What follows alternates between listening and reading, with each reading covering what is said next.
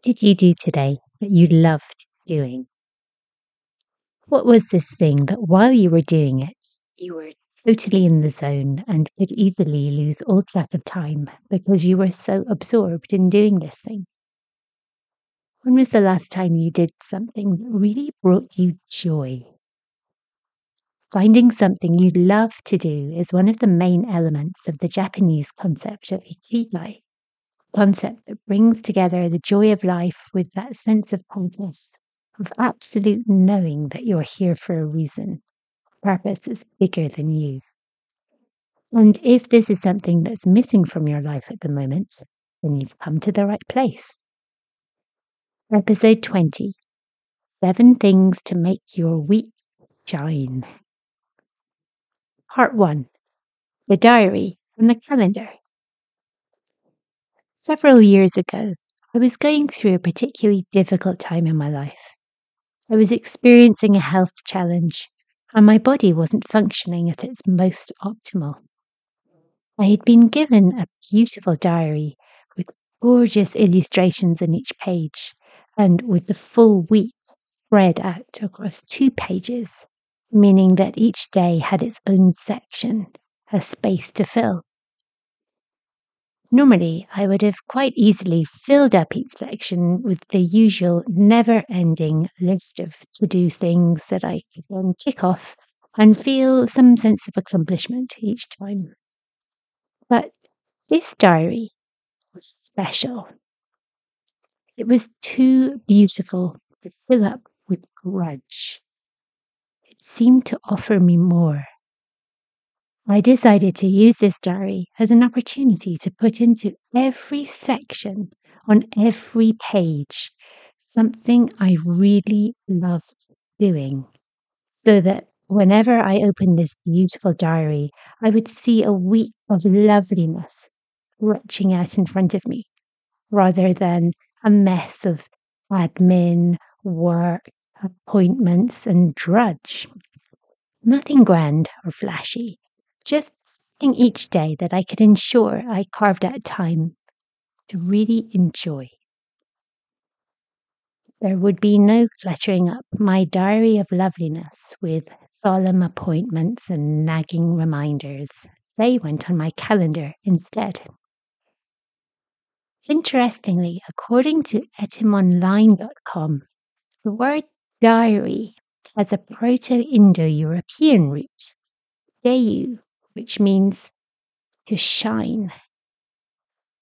Contrast this with the word calendar, which comes from the Latin calare, meaning to announce solemnly or call out, harking back to the time when Roman priests would call out when they saw the new moon, and from this they would then mark out the rest of the month. Anyway, to make my week really shine, I would write down at least one shiny thing to enjoy every day. Monday, loose leaf tea in a teapot with a china cup and saucer. Tuesday, paint my toenails and put on some cream on my feet afterwards. Wednesday, come home from work the slightly longer way to see the daffodils in the park. That kind of thing simple things that didn't really require much effort on my part and that I was sure to be able to find time for would really make my day shine. After a few weeks, I started to notice real differences in every area of my life. The health issue that had been troubling me resolved itself. My apartment looked different.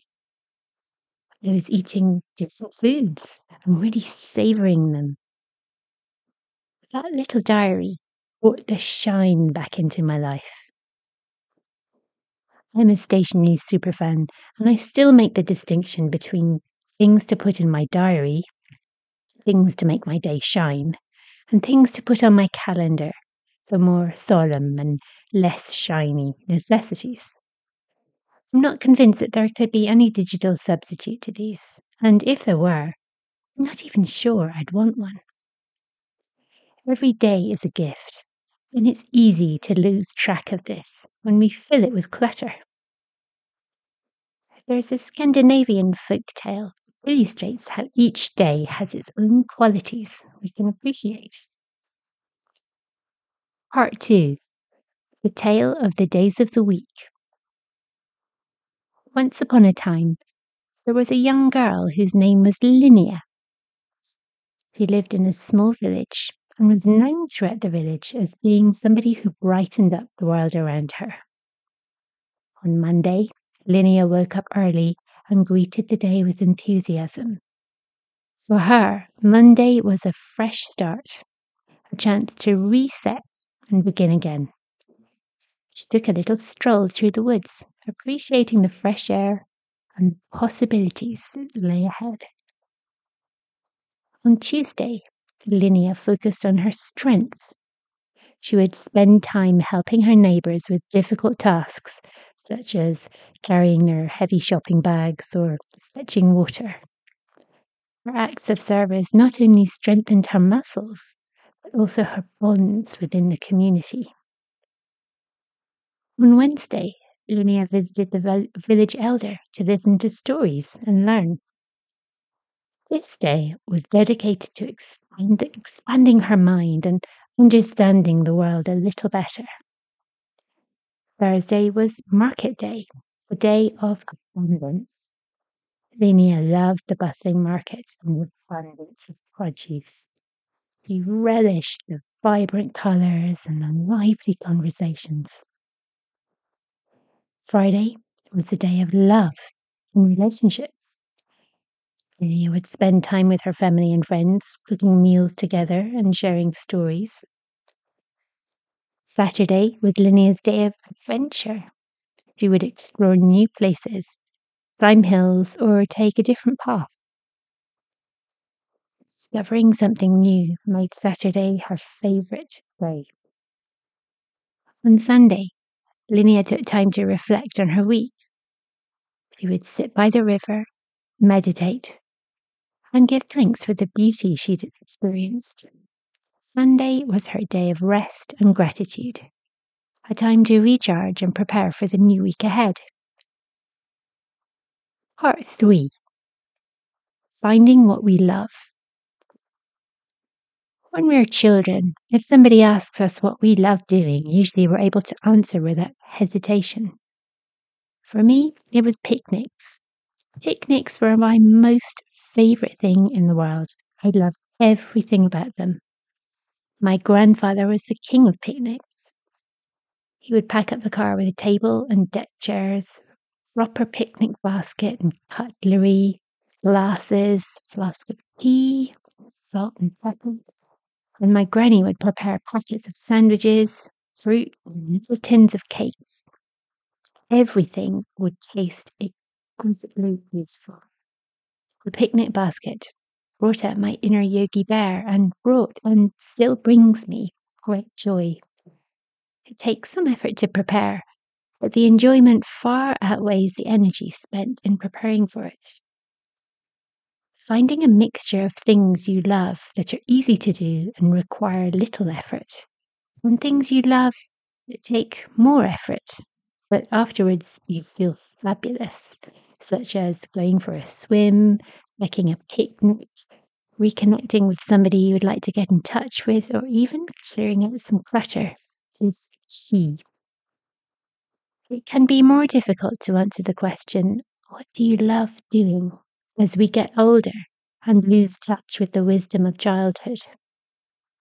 But it's essential to our overall, well, overall well being and is one of the four components of the Japanese concept of ikigai.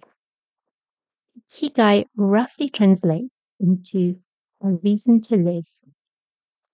Think of four circles. The first circle contains what you love, your passion. The second, what the world needs, your mission. The third circle contains what you're good at. This is your vocation the final circle, what you can get paid for, your profession. Now, picture these circles one to the north, one to the south, one to the east and the other to the west, so that there is a spot in the middle where they all converge. This is the sweet spot. This is your ikigai. Christian Louboutin, king of shoes, said, If you do what you love, it is the best way to relax. Keep your calendars for pulling out reminders to yourself of things that you need to remember. Keep your diary, your little book of shining possibilities, to ensure that each day shines brighter for you and brings more joy to your week. If you're wondering what you love doing, then this is great news. It means that your spark of creativity, of curiosity is ready to burn brighter and you're ready for the next stage of your journey. Take some time today with a piece of paper make a list of things that you'd like to do, make you smile, and go from there. If you'd like to solve the puzzle of what makes you you and find out your unique blueprint, your treasure map that reveals who you are and what you're here to do, visit my website and follow the link to my soul treasure map. This will show you how to uncover your soul's true purpose so that the rest of your journey is an easier one. To find out more, visit my website at www.iamjennywilson.com. Here, you can download my free PDF ebook, The Hidden Language of Colour. Just follow the free ebook link. You can check out my YouTube channel, Jenny Wilson Soul Language, or you can follow me on Instagram at I am Jenny Wilson. Let's reconnect next time and explore more of the universal language of the soul. In the meantime, keep expanding and enjoy the journey.